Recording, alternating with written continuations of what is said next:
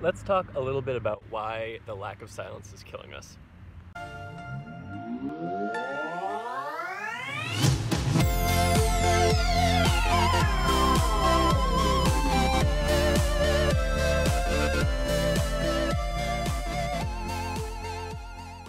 One thing I noticed when I first started out doing music production full time, which was this past May 2020, is that I would have some terrible burnout certain weeks after working three to four weeks nonstop.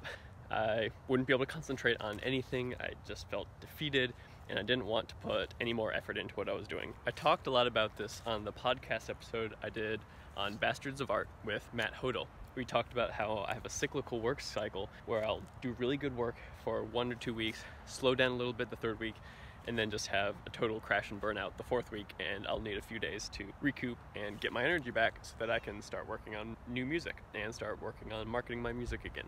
One of the main reasons that I found this was happening is because I wasn't getting enough silence during the day.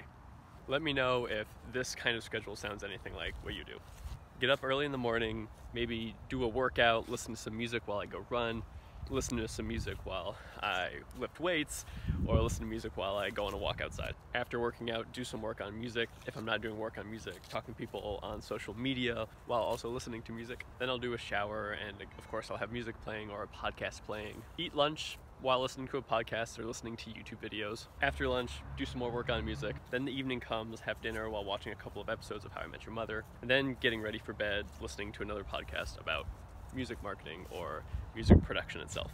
So, what's the common theme between all of these things? Well, I was listening to something the whole time, either learning constantly or having some sort of stimulation at every single point during the day, whether it's when I'm working or when I'm just relaxing. The first side effect that this started causing was lack of sleep.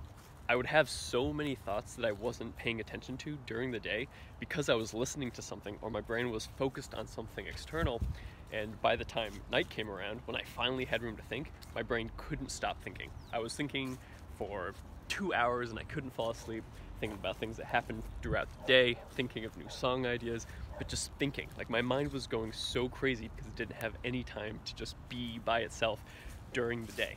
That, of course, led to things like not getting enough sleep, and so I'd be tired and I wouldn't be able to focus very much, and that would just cause my burnout to hit really bad.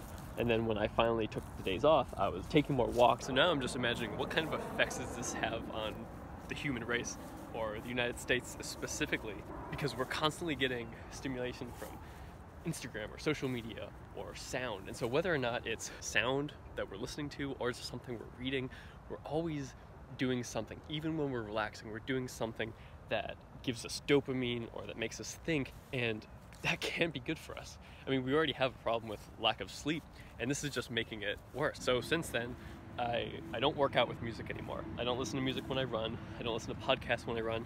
It's just silence, just me and my thoughts. I take a walk usually once every day or once every other day where again I won't listen to any music and I won't be looking at my phone I'll just look at the road and look at the buildings that I'm walking by and just enjoy that and I know I'm sounding a little bit heated or passionate about this and that's because I am I'm so obsessed with a good night's sleep and being healthy and how that can affect your mental health and everything and so this lack of silence epidemic is something that I think we're not paying very much attention to like we should. Journaling is super helpful as well. I've done been doing this thing called morning pages, something that I just write down a flow of consciousness in the morning and that lets me figure out what is most on my mind that day or that week. It's also interesting to see how that has affected my output as an artist. Having more silence during the day gives my mind more time to consciously or subconsciously think about the music that I'm making and the message that I want to be sending. And the more silence I get, the more time I'm able to think through that, and the more it starts to piece together over time. I've also just been able to make way more music. I mean, in 2020 altogether, I released six songs, and I already have three songs, two songs pretty much completely finished, um, and four that are almost finished, so that I can release a new song every three weeks. About every three weeks in 2020 the quality of the songs hasn't gone down, the amount of time that I'm working hasn't gone up. The only thing that's changed is I'm giving myself more time to be in silence and to really relax and let myself think.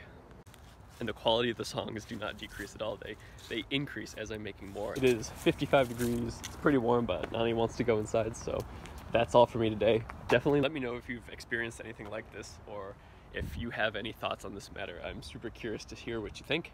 And until next time.